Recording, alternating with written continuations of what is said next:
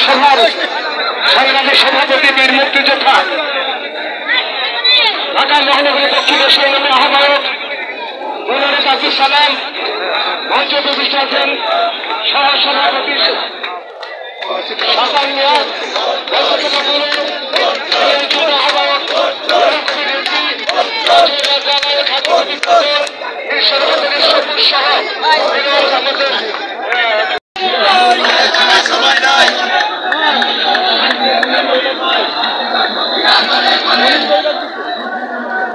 Quero cantarei.